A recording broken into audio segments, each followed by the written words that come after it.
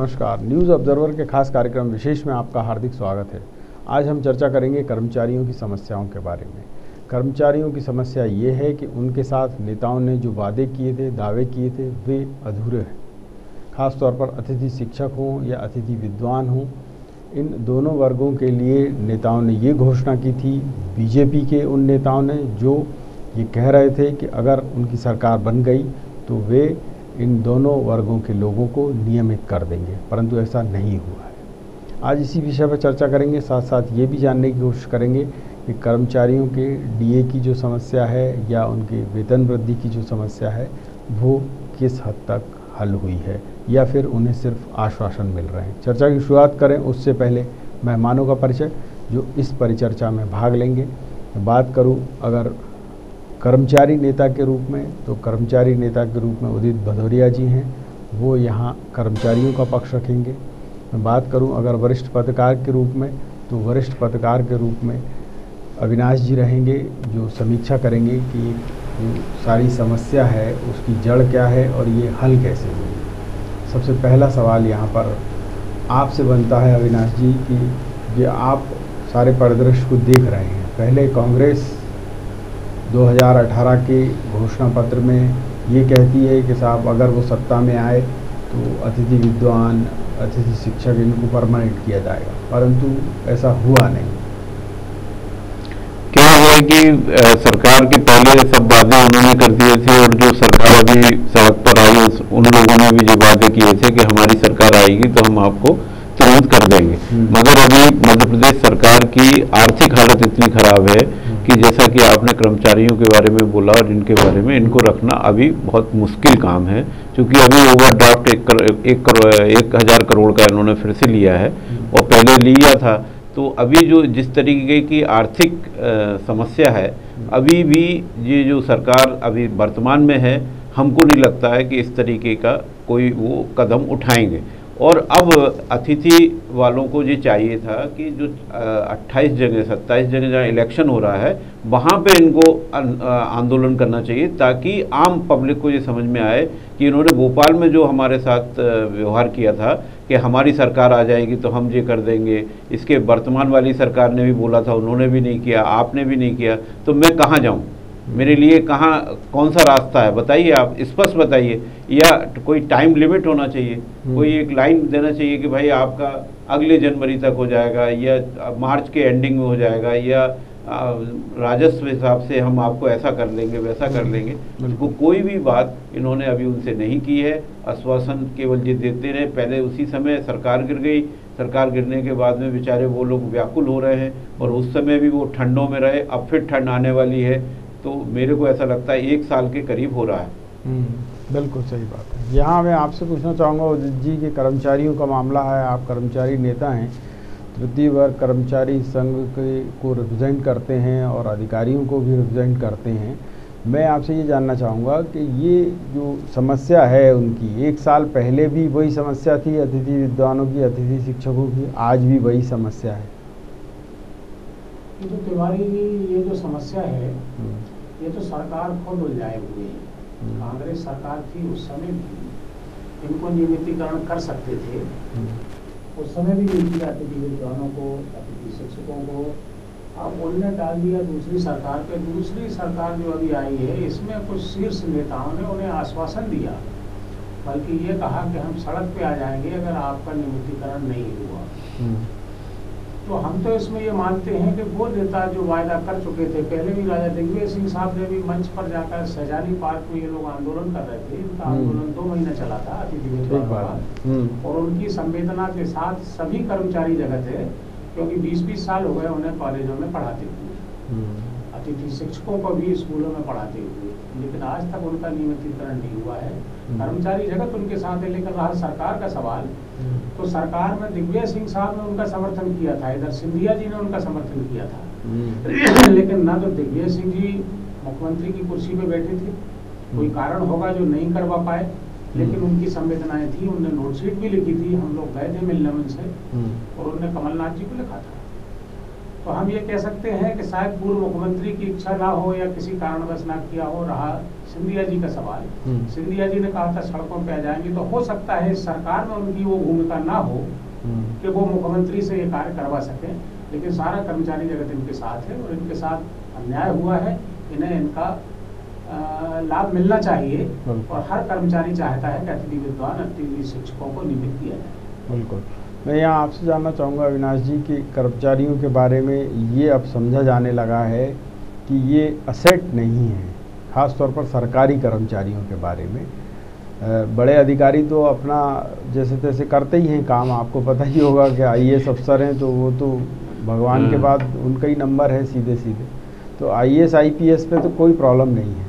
पर यहाँ जो दिक्कत आ रही है वो इन कर्मचारियों पर आ रही है उन लोगों पर आ रही है और ख़ासतौर पर शिक्षा जगत से जुड़े हुए लोग जो हैं जो राष्ट्र का प्रदेश का निर्माण करते हैं समाज का निर्माण करते हैं उनको अब ये समझ लिया गया है आई एस अफसरों की सलाह पे कि ये तो ऐसे ही हैं इनका कुछ मतलब मतलब नहीं है रखो तो ठीक नहीं रखो तो ठीक। आप कितना सहमत हैं इस अवधारणा से? हम आपको बताएँ कि किसी भी टाइप का सर्वे होता है तो शिक्षक जो हैं वही सर्वे करते हैं घर घर जाके और बेचारे मतलब आप सोचिए कि जिनको पढ़ाने का काम है उनसे गलत तरीके से काम लेती है सरकार और इन, इनको ऐसा लगता है कि इनका इस समाज में और इस सरकार में ना रहना या रहने का कोई औचित्य नहीं है। मगर, और जो ऑफिसर्स हैं, वो अपने तरीके से उसको डील करते हैं और यदि इसी तरीके से दो तीन साल और चला तो 20 साल की सर्विस वाला इस एज लिमिट क्रॉस हो जाएगी। हमें ऐसा लगता है कि ये लोग इस तरीके का वेट कर रहे हैं, आश्वासन करके कि सभी लोग या 80 परसेंट से 60 परसेंट लोग एज वार हो जाएँ और उसके बाद वो कहें कि अरे साहब मैं कर रहा हूँ तो वो उसमें आएँगे ही नहीं।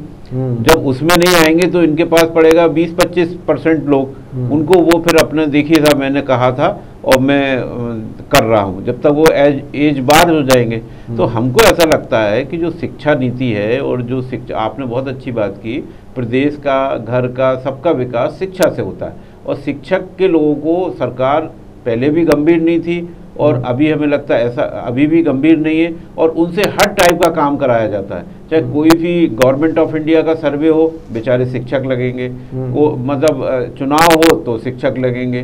तो मेरा ये कहना है कि वो शिक्षा का वो पढ़ाएँ कि आपका सर्वे करें। और दोनों चीज़ें करने के बावजूद भी आप उनकी तरफ़ यदि नहीं देख रहे हैं तो ये गलत बात है। बिल्कुल। और ये जो एक परंपरा सी बन गई है कि शिक्षा को सेकेंडरी ले रहे हैं, सारी चीज़ें अब जो है वो निजीकरण और निजी हाथों में सौंपने की बात हो रही है। शिक्षा अगर निजी हाथों में चली जाएगी तो उसके क्या फ़ायदे और नुकसान आपको नज़र आते हैं? देखिए, अभी शिक्षा में एक कंपनी है दिल्ली की, जो गवर्नमेंट स्टेट से बातचीत कर रही है कि आप इतना पैसा खर्च करते हैं और उसका आउटपुट क्या है। हम आपको आउटपुट कागज़ पे ऐसे ऐसे दे पाएँगे बच्चे ऐसे निकलेंगे ऐसे निकलेंगे। आपके कई शिक्षक उन्होंने सर्वे किया पूरा कि कई शिक्षक गाँव में जाते ही नहीं है पैसा ले रहे हैं चालीस हज़ार पचास हज़ार रुपये और आप जब आप हमें प्राइवेट सेक्टर को दे देंगे तो आप देखिए सब ऑनलाइन काम करेंगे ऐसा होगा इस तरह का एक झांसा दे रहे हैं। जैसा कि उन्होंने मंडी के लिए किया है। हम्म। मंडी को भी ऑनलाइन कर रहे हैं और इस तरीके का वो दिल्ली सरकार की जो एक पहल थी उन्होंने स्कूलों को में कम से कम 60 परसेंट सुधार कर लिया। उसी टाइप का एक एक कई कंपनियाँ इनके साथ लगी हुई हैं कि आप हमें पूरे मध्य प्रदेश का वो दे दें और वे शिक्षा को अपल अव्वल दर्जे में मध्य प्रदेश में ला देंगे। अब इसके बाद क्या होगा? वो और जो गवर्नमेंट के शिक्षक हैं उनके साथ क्या बर्ताव किया जाएगा वो आप भी जानते हैं जब प्राइवेट सरकार आ जाएगी प्राइवेट कंपनी आ जाएगी वो किस तरह से उनके साथ बिहेवियर करेगी आपको ये मालूम है बिजली विभाग में लोगों का क्या हाल हुआ। बिल्कुल। मैं यहाँ आपसे जानना चाहूँगा उदित जी कि अभी आपने जैसे उदाहरण सुना बिजली विभाग का ऐसे और भी महकमे हैं जो प्राइवेट हाथों में चले गए और उसके बाद से सिस्टम ख़त्म हो गया चाहे परिवहन हो या बिजली विभाग हो दोनों को ही सरकार ने प्राइवेटाइज कर दिया। अब अगर शिक्षा विभाग से भी वो प्राइवेटाइज करने की बात कर रहे हैं और प्राइवेट कंपनियाँ आ रही हैं इस क्षेत्र में तो इसमें गलत क्या है? कर्मचारी काम भी तो नहीं करते हैं ना शिद्दत से?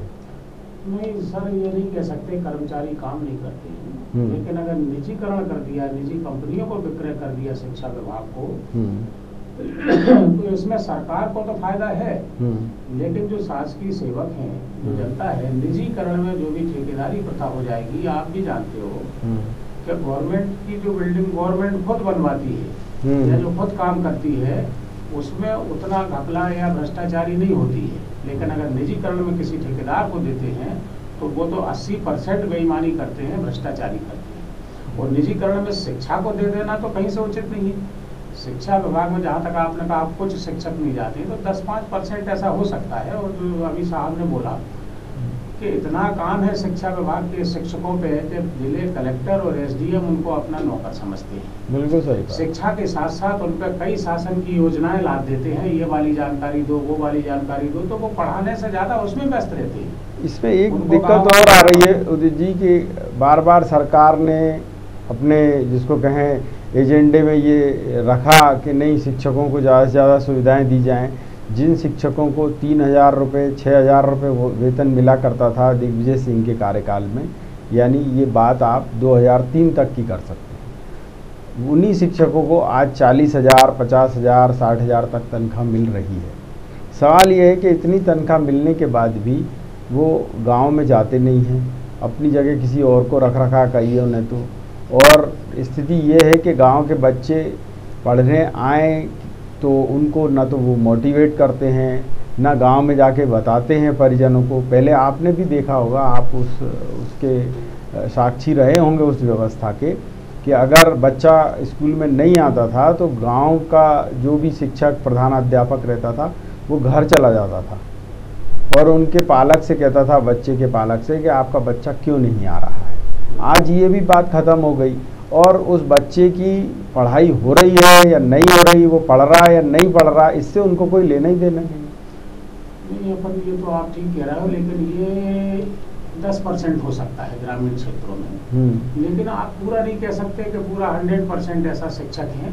शिक्षक में हो सकता है पाँच दस परसेंट ऐसे हो तो अगर अपन ये कहें कि नेताओं में कितने परसेंट है जो अपने चुनावी क्षेत्रों में विधानसभा क्षेत्रों में पाँच साल जाते हैं? बिल्कुल। अगर शिक्षक नहीं जाते हैं तो नेता क्या करता है? हर गाँव में पाँच साल में एक बार भी नहीं पहुँच पाता है। बिल्कुल सही। अगर हम उंगली उठाते हैं शिक्षकों पे हम्म, तो नेताओं और प्रशासन पे भी उंगली उठाना आवश्यक है। नहीं मैं ये मैं मैं ये जानना चाह रहा हूँ आई अफसर ये दलील देते हैं कि जब पढ़ाना है नहीं है आपको शिक्षा व्यवस्था सुधरनी है नहीं है तो करोड़ों रुपए आपके वेतन भत्तों पर क्यों खर्च किया जाए? उससे अच्छा ये है कि प्राइवेट स्कूलों को परमिशन दे दें। वो पढ़ाते रहेंगे अपने आप। प्राइवेट स्कूलों को परमिशन दे देंगे तो इससे भी बदतर हालत हो जाएगी। प्राइवेट स्कूलों को अगर अपन स्कूलों को प्राइवेटीकरण कर देंगे हम्म, तो टोटल ये शिक्षा का शोषण हो जाएगा। जहाँ तीन सौ रुपये फ़ीस लगती प्राइमरी स्कूल में शासकीय स्कूल में हम्म। वहाँ तीन हज़ार रुपये वसूलेंगे और ये भी वही करेंगे जो ये कर रहे हैं। इससे कोई फ़र्क नहीं पड़ता है बल्कि शासकीय सेवक जो है जितने शिक्षक हैं वो फिर भी कुछ ना कुछ बच्चों नहीं वो तो अगर फ़ीस बढ़ेगी तो वो तो समझ में आ रहा है कि गवर्नमेंट खर्चा नहीं करेगी उस पर तो बाकी का पैसा जो है वो इधर उधर डाइवर्ट हो जाएगा विकास पर या बाकी की चीज़ों पर। लेकिन बच्चों या मुफ़्त में बांटने में जैसा अभी मुफ़्त में बट रहा है फिर भी और बंटने लगेगा। उनने कहा अभी झुग्गी दे दी बिजली दे दी अब के ना कपड़े भी दे देंगे और हर महीने रोज़गार का पैसा भी दे देंगे तो ऐसा कुछ करने लगेंगे तो सर शिक्षा का स्तर इतना नीचा गिर जाएगा प्राइवेटीकरण से हम्म। निजीकरण से कि आप अगर मान लो खर्च कर देते हो किसानों के ऊपर मजदूरों के ऊपर गेहूँ बांटने में चावल बांटने में हम्म। शिक्षा का स्तर निजीकरण में आने के बाद और स्तर गिर जाएगा तो वो ठेकेदार तो माला माल हो जाएँगे जो इसका काम लेंगे।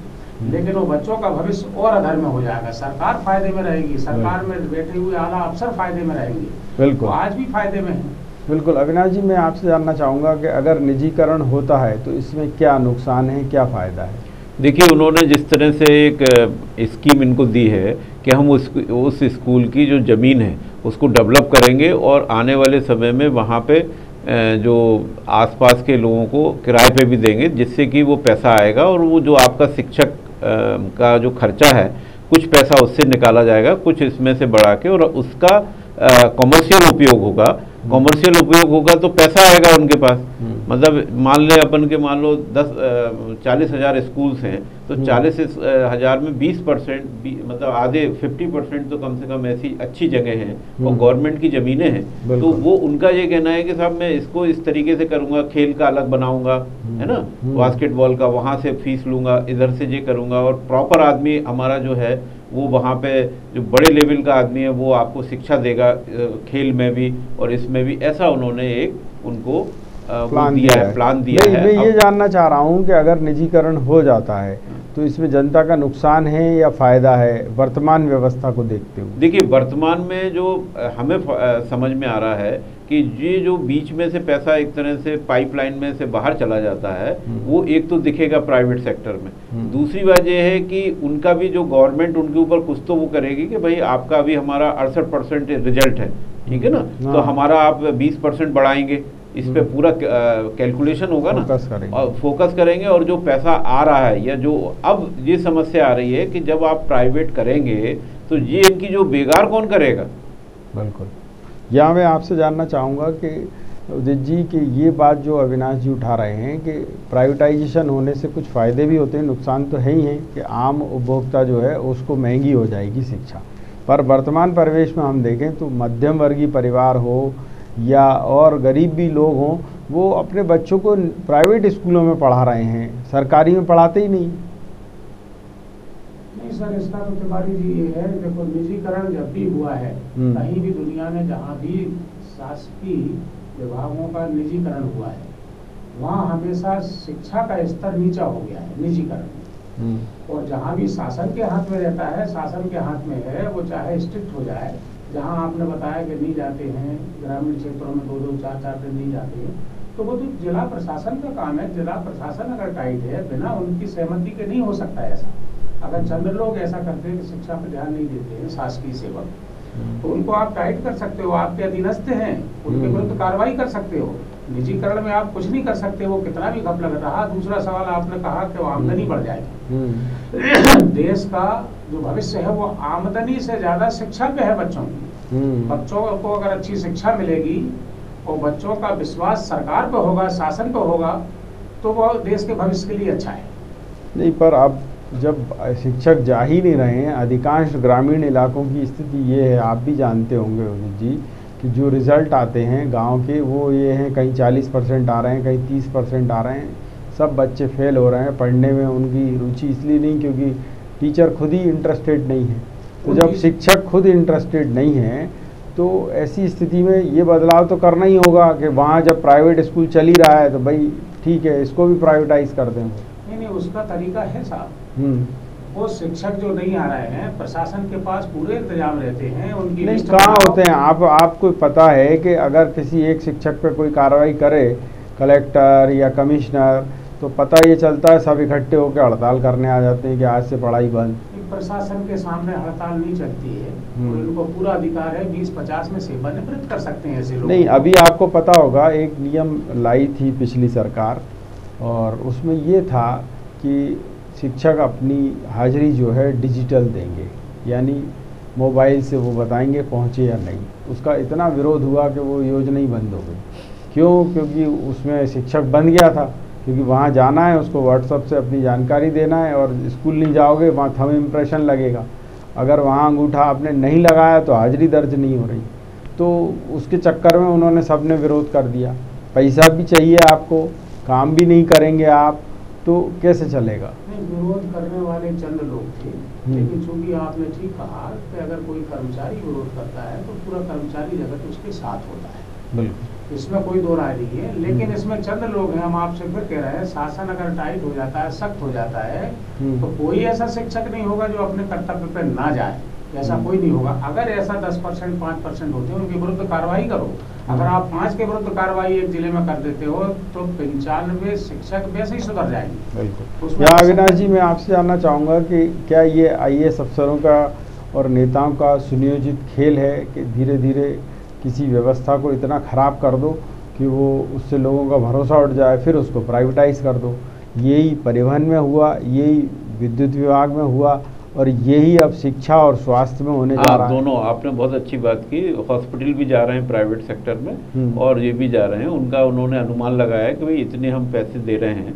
और आदमी ठीक नहीं रहा भोपाल आ रहा है वहीं प्राइवेट हो जाएगा हम्म। और वहाँ पे उन्होंने इस तरीके से उनको स्कीम दिया वो तो स्कीम तो ऐसे देते हैं जैसे चुनाव में देते हैं हम्म। जो प्राइवेट कंपनी ने कहा कि देखिए साहब आपके यहाँ से इतने खिलाड़ी निकलेंगे अभी इतने निकलते हैं खिलाड़ी निकलेंगे ऐसा करेंगे हम ये हमारा आदमी आएगा कोच आएगा ये आएगा बच्चा सवेरे से शाम तक नहीं पर आप देखिए दिल्ली में केजरीवाल की सरकार ने सरकारी स्कूलों को ही बेहतर कर हाँ। यहाँ मध्य प्रदेश में चाहे शिवराज रहे हों मुख्यमंत्री, पहले या अब हों या कमलनाथ हों, ये वो पंद्रह साल में, ये पंद्रह महीने में कुछ ऐसा आमूल चूल परिवर्तन नहीं कर पाए जिससे लगे कि शिक्षा के क्षेत्र में बहुत ज़बरदस्त काम हुआ है। ऐसा लगे कि हाँ बच्चे जो हैं वो टॉप कर रहे हैं। नहीं, इसमें कुछ शिक्षक हैं। अभी आपने सुना होगा, रायसन में एक शिक्षक था जिसने पूरे स्कूल को बदल दिया। है ना? सब अपने पूरे गाँव के लोगों ने पेड़ लगाए ये किया बहुत अच्छी बात है उसका नेशनल उस पर भी आया। तो क्या होता है जब तक एक तो प्रॉब्लम क्या है कि जो भी शिक्षक हैं खासतौर से महिला वो चाहती हैं कि हम ज़िले में रहें उनके हम्म। बच्चे बढ़ रहे हैं हम्म। ठीक है? उनके बच्चों को अच्छी एजुकेशन चाहिए। ज़्यादातर जो देखा गया है कि जितने भी शिक्षक हैं उनके बच्चे ज़्यादातर प्राइवेट स्कूल में पढ़ते हैं। ठीक है ना? हम्म। और दूसरी बात ये है वो जाना नहीं चाहती। जाना क्यों नहीं चाहती? क्योंकि इंटीरियर में इंटीरियर में आदमी जाएगा यदि कोई भी कुछ ऐसी भी महिलाएँ जिन्होंने वही मकान ले लिया और वहाँ पे बहुत अच्छे तरीके से पढ़ा रही हैं। सब लोग नहीं है ऐसा।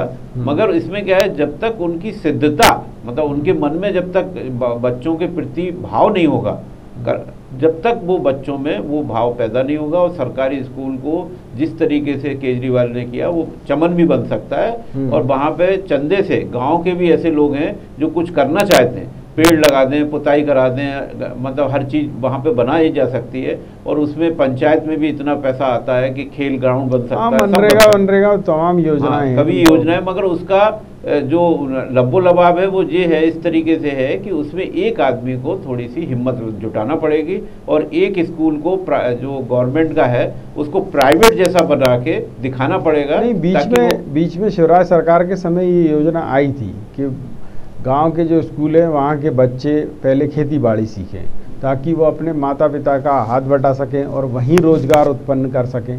पर उस योजना को ज़्यादा चल ही नहीं पाई, वो जैसी भी रही, वो उसका, जिसको कहें, किया पाँचा हो गया एक तरीके से। क्या आपको लगता है कि कई आई अफसर ये सोचते हैं कि ठीक है, अपन तो कहाँ कमा के निकल लें, बस ये देखो। हाँ उनका भी उस तरीके का डेडिकेशन नहीं है प्रदेश के हिसाब से।